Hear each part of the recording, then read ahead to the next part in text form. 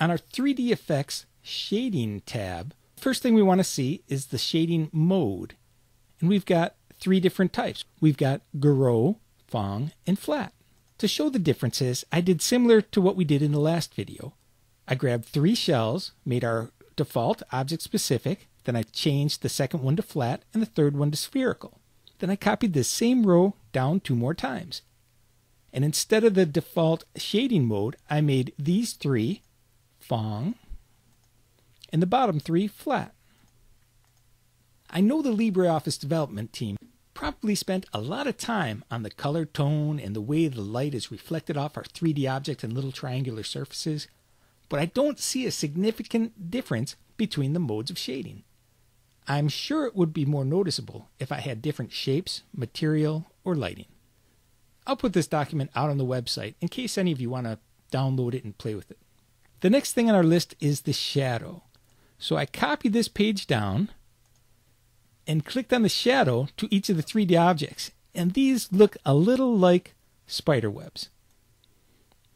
So what I did was I did it again with spheres. And to turn on and off our shadow, select it, click on the shadow icon, and we can see in the preview the shadow disappears in this case. And I click assign. That turns it off. Same thing to turn it on. Just click on it and click the assign button. You can also change the level of degrees.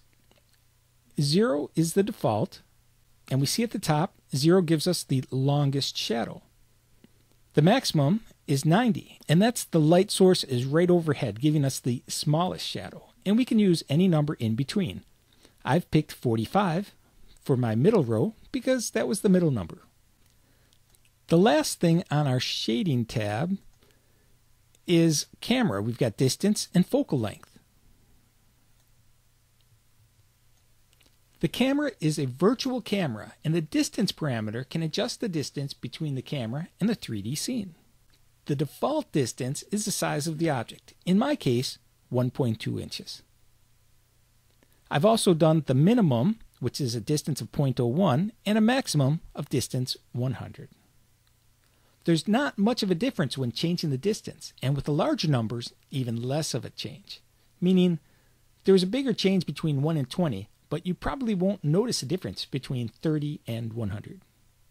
And the last one on this page is focal length. My default focal length is 3.94. A smaller focal length, like we see here at 0.02, will be more of a wide angle lens, whereas a larger focal length, like we have here on the right, will simulate a telephoto lens. And this focal length does seem to have an effect on our shadow. The last thing I want to talk about is this Update button, and this can be found on all of the tabs. This Update button works very similar to our Format Paintbrush. Before we start going there, let's take a look what we have on the screen. This object has 24 horizontal by 24 vertical. In our preview, it changes color and shows the 24 by 24. When I click on the center object, we see that this one has eight horizontal and six vertical, and we have our flat normals. And in this last one, we've got our spherical normals, and we again we've got the eight segments by six segments. These shapes down below that are the blue, these are the default shapes off our 3D object toolbar, and these all have just the default settings. The first thing I'm going to do is click on one of the colors, like this green, and then click on the Format Paintbrush, and then click on one of the shapes. And we see that turns green, and it looks like it brought down all the properties.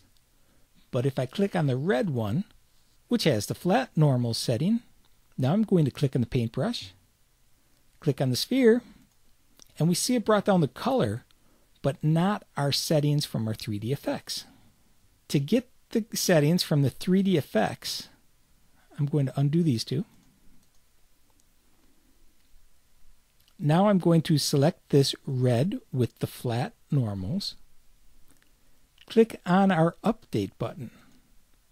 With that set, now when I click on the sphere, when we look in the preview window, we see flat normals with 8 and 6 segments. If I want to apply these to my cylinder, I click the Assign button. And I can keep assigning this until I uncheck my Update button. When I uncheck this, now when I click on a shape, it takes the Shapes settings into the preview. I'll do the same thing with the green sphere. I've selected it. Now I'm pressing down the Update button. Now when I select my cylinder, we have the green sphere in the preview window. Clicking Assign, it brings in the settings from the green sphere. Clicking on the cone and Assign brings in the settings from the green sphere.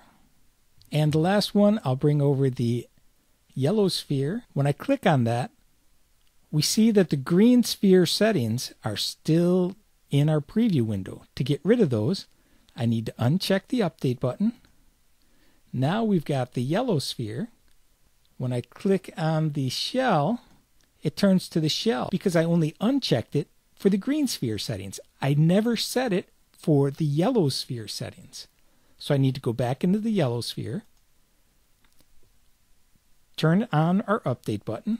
Now when I select my shell, my preview window has my yellow sphere. Turning that on shows us that we don't have the double-sided. I'll turn those on as well. And lastly, I'll click on the box. And we'll notice this one has the yellow in the preview, but it also has our double-sided turned on.